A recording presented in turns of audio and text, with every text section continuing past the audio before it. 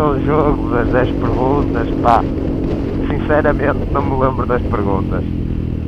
Lembrei-me agora do jogo e em responder, só que alguém me ficou de mandar as perguntas e até hoje só as vejo nos, nos blogs, ainda não, nos, nos blogs, ainda não tive tempo de desapontar e trazer comigo para ver se não, se não me esqueço delas.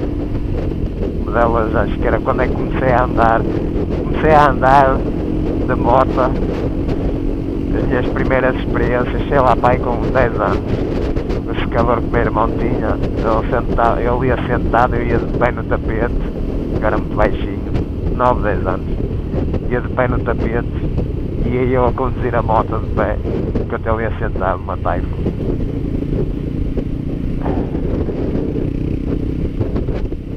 Ele depois teve uma, uma LC, uma 50, quitada para 82,5. Ainda cheguei a roubar a moto também, com os meus, pai, sei lá, 15 anos, 14, 15 anos. Ainda cheguei a fugir umas vezes de casa com ela. Ligação direta naquilo, que era a coisa mais simples que existia de fazer. E lá ia dar uma volta depois ele trocou a moto para uma, para uma cajiva prima, uma 75, que ainda hoje a tenho, parada. Nessa aí também cheguei a sair umas vezes de casa com ela, aí com 16 anos.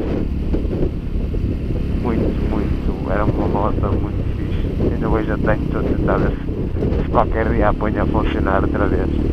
Só que lá está a matrícula amarela é um bocado chato, motas dois tempos, matrícula amarela, é um bocado chato para andar aí. Estou habituado a andar em todo o lado, andar com uma moto que me limita só, só à cidade é uma chatice.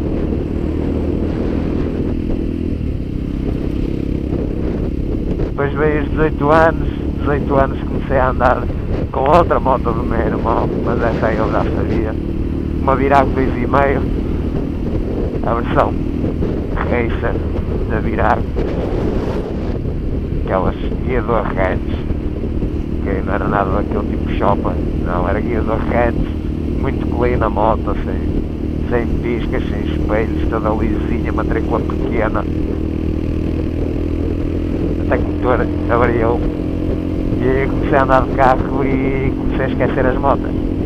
Até que há sensivelmente 6 anos atrás Lembrei-me, não, vou ter que comprar uma moto. Comprei uma TDR, uma 125, qual andei mais um ano, um ano mais ou menos.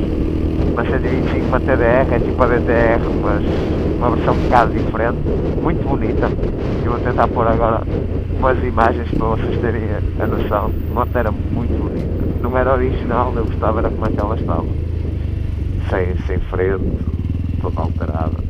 Eu não consigo ter nada que seja de origem, basicamente. Era muito bonita essa moto. Acabei por, por vendê-la e comprar a Horda. Uma, alguns de vocês conhecem. Já devem ter visto vídeos dela, uma, uma, uma Horneta 600S. Tem uma ligeira carnagem à frente. Comprei a pensar em tirar a carnagem. Acabei por deixar ficar a carnagem porque efetivamente a moto a moto na autostrada era uma diferença descomunal em relação às outras. Aquela pequena carnagem pequena, que não era assim tão pequena como isso, mas a, a carnagem e o vidro efetivamente fazem uma diferença enorme. A moto andava nas obras. Aliás, cheguei a fazer alguns comparativos aí com o pessoal do, da malta das Hornas e efetivamente aquilo andava mesmo muito bem. Tive pena de vender, mas basicamente foi uma troca justa. Troquei mais alguns questões pela CBR. Apaixonei-me pela moto à primeira vista, é linda a moto, adoro. Nunca, nunca pensei gostar tanto da moto, porque via a moto nas fotografias e pensava, não, é muito, muito espampanado, dá muito nas vistas a moto, muito colorida, eu gosto dessas coisas pretas, cinzentas e escuras. As minhas motas, conforme já viram aí nas imagens, são pretas, sempre pretas. E vou comprar uma moto azul, vermelha e branca. Quando, quando a vi, quando a vi pela, pela primeira vez, fui, fui ver a moto ao vivo, a jante branca, matou logo de início. A moto era linda, linda, linda, estava, está, está, está muito bem tratada.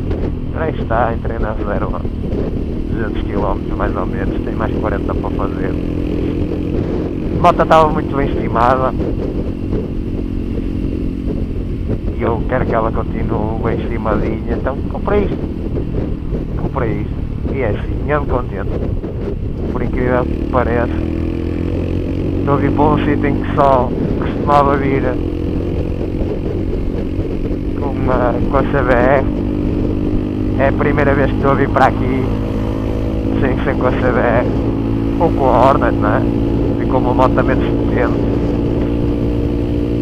Dar uma voltinha para ver como é que isto se porta. Na CBR já devia vir a uns 200. Aqui com a 105 tem uma vantagem, não preciso travar nas curvas com esta. É, gasto lado e deixa ir.